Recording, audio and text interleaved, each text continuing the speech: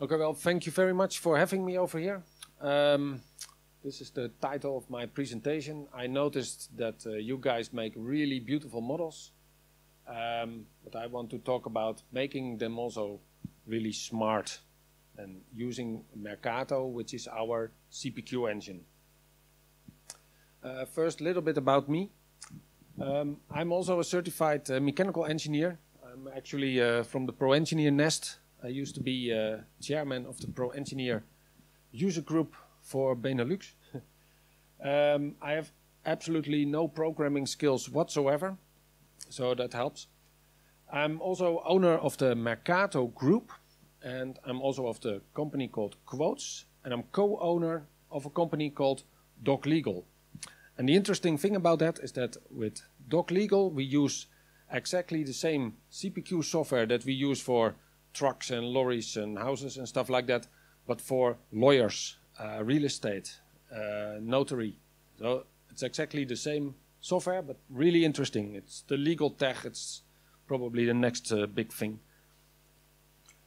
So about the the two companies, um, um the Merkato Group develops the software and has the intellectual property, and we develop everything ourselves. And Quootz is the company that sells the Merkato software in the technical domain, so not the legal domain.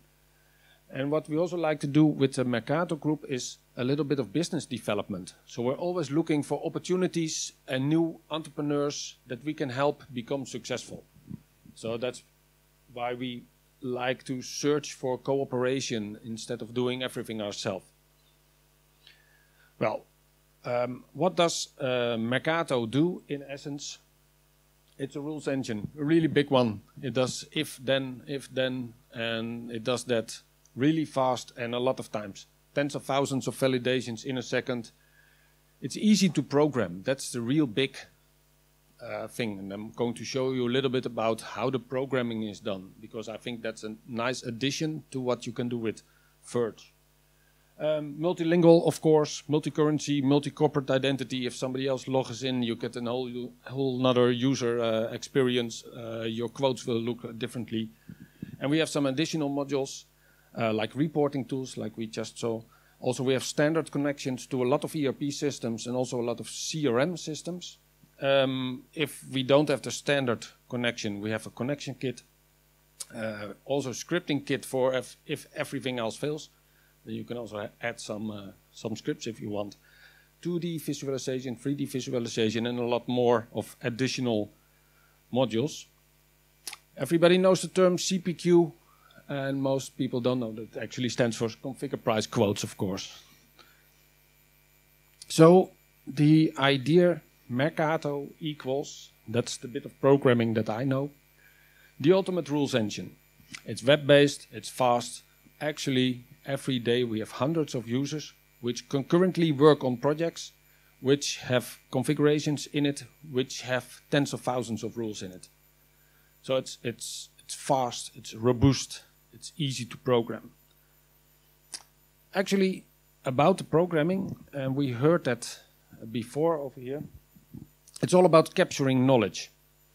Um, usually, if you do an implementation, you go wander about in the company, you talk to people in the factory, you get your knowledge about bill of materials, pricing, uh, agreements with your dealers, with your agents, uh, knowledge about products, bill of materials, the ERP system, calculations, discounts, and all about that you program into what we call a template.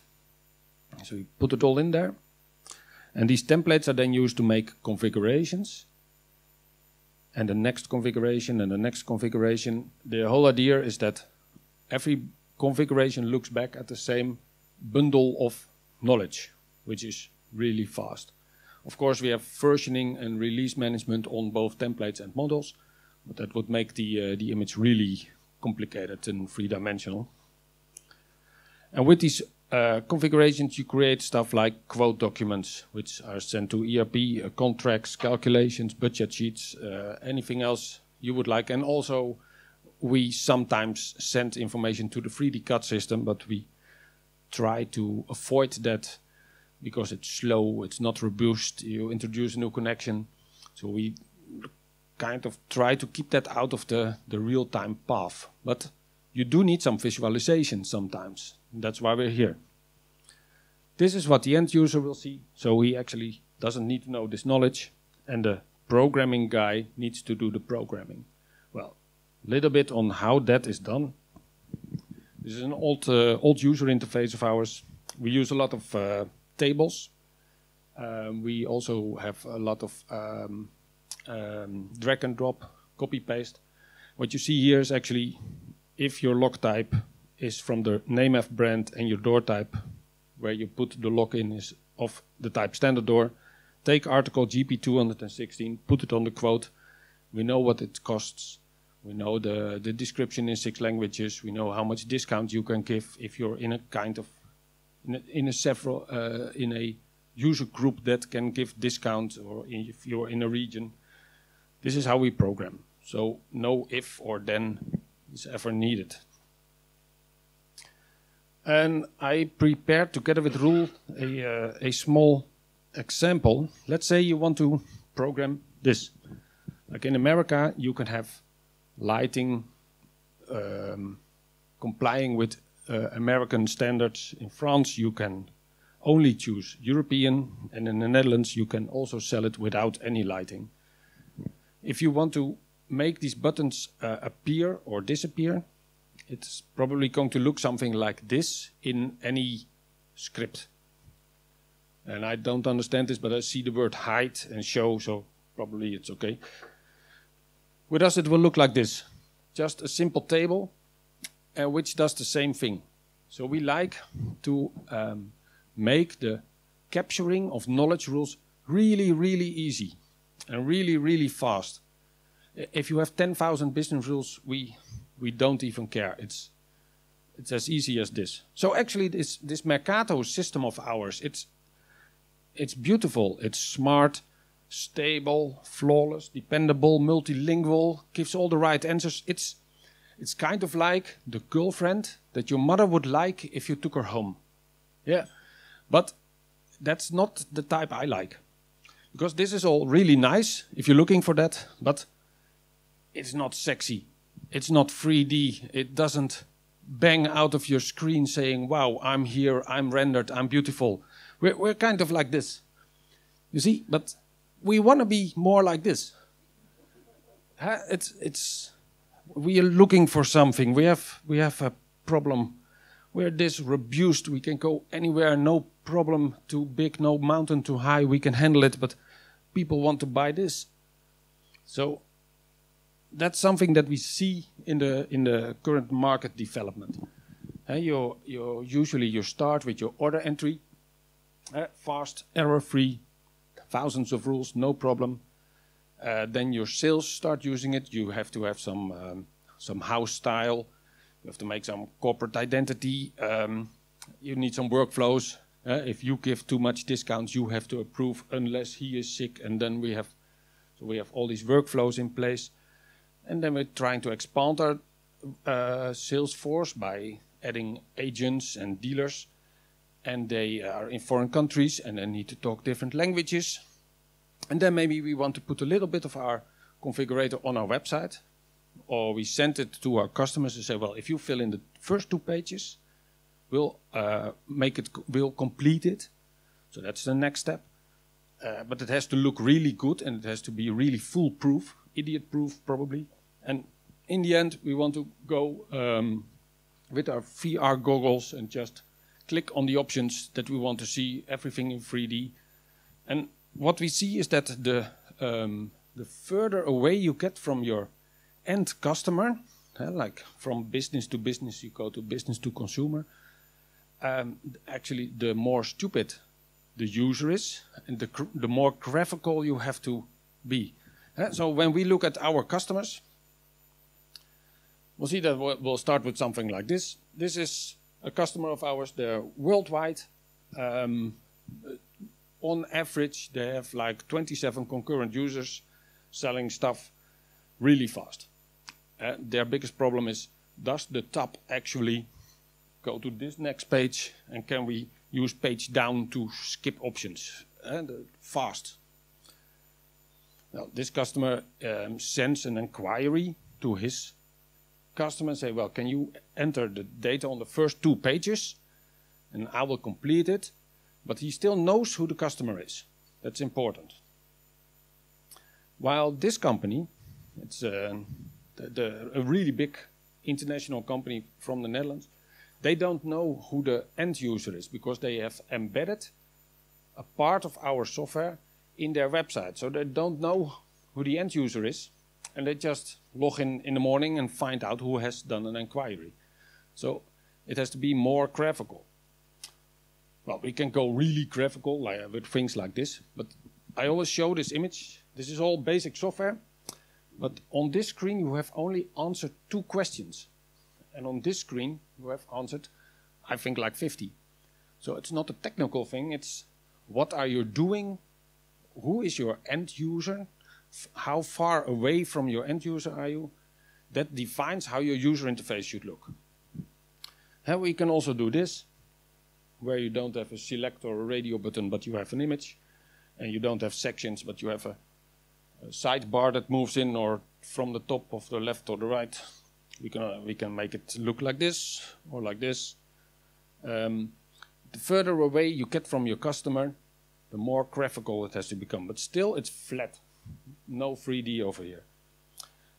Uh, our user interface looks like, if you want it, it can look like this. You have your uh, pages on the bottom. Uh, a, a, group of buttons is called a section. We can have uh, radio buttons, select buttons, uh, hidden buttons, uh, whatever. Um, pricing, um, programmable graphical buttons, um, stuff like this we do use a lot of cut images. These are then uh, dynamic, so depending on what you're doing, the images change, and it's really, really fast, but not created real time. They're prepared in advance. And so you just uh, throw in a few, few, hundred cut images, calculate, uh, depending on this one, this one, and this one, which one you want to show, and it's it, it's it's really fast. Well, this one I've already shown. Here we have some uh, some other colors. Um, what is good to notice is that neither of these user interfaces are sequential. You can actually start at the back and work your way forward or the other way around or upside down if you want. Um, nice images. This is uh, like the, uh, the speaker before me. This is our SVG uh, uh, engine. It's uh, also really fast, bidirectional, and you can place the image on your quote. Many times you draw something in your user interface and then do a quick change to put it on your quote so it looks better, line thickness, stuff like that. So the status that I see is that Verge 3D can make extremely beautiful models in 3D, even parametric. That's one of the presentations uh, that we're going to see this afternoon. But I find it really difficult to program it, even with puzzles. Um, and then we look at Merkato and say, really smart, can handle a lot of knowledge, can communicate with any ERP system, do calculations in every currency. But it's not really sexy. So I'm a businessman. I see an opportunity.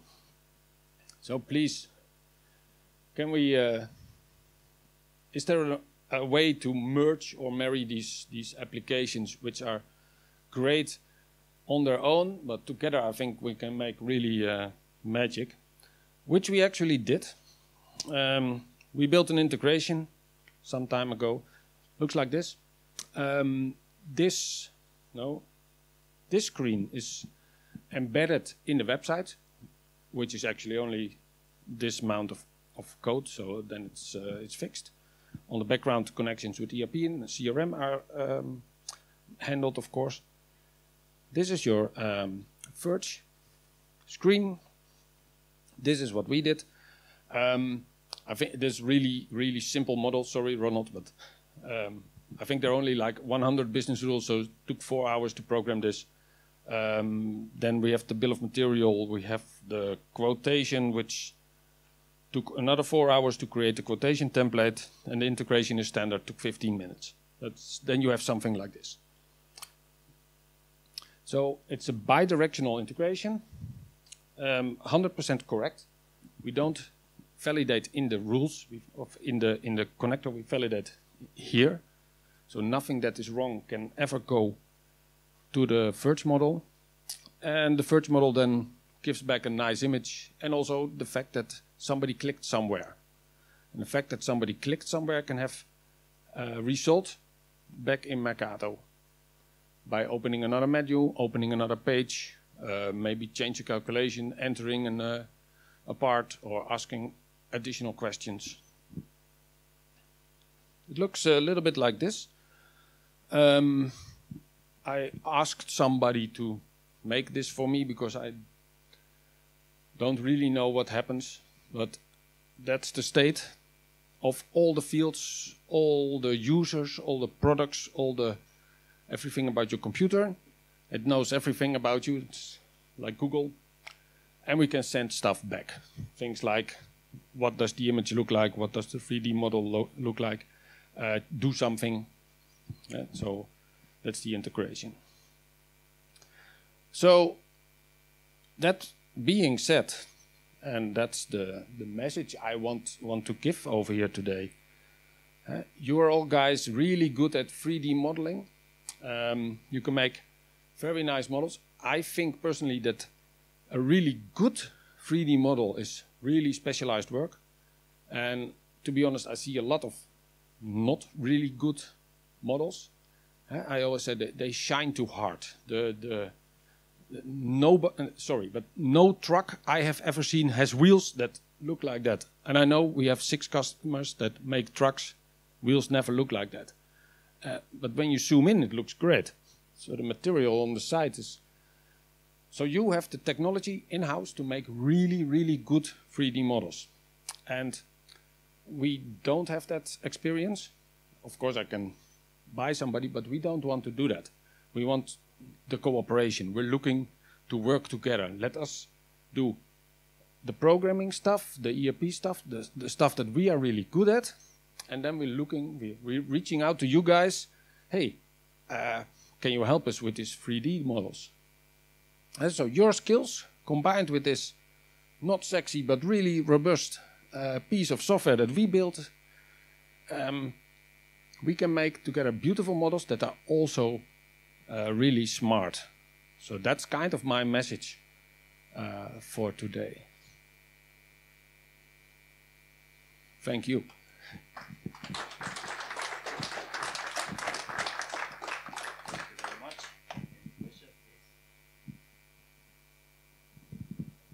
Well, then I was clear. One question.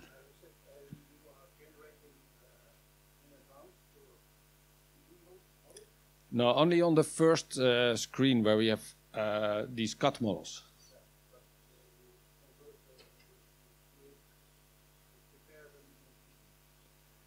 Yeah, it, it's all it's a um, it's a PNG, so it's 2D of a cut model that is oriented in an isometric way, so it looks 3D, but still flat as a, as a puzzle. no stamp. yes? Well, I've been to the United States several times, but not for this. Uh, because they're always dirty.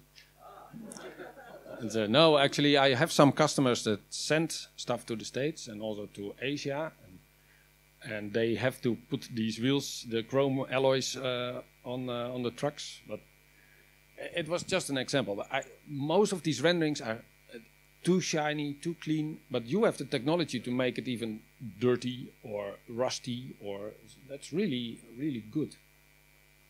Yeah, and that's why I don't like the cut interfaces because these models are too clean. It it doesn't look like that. Yeah.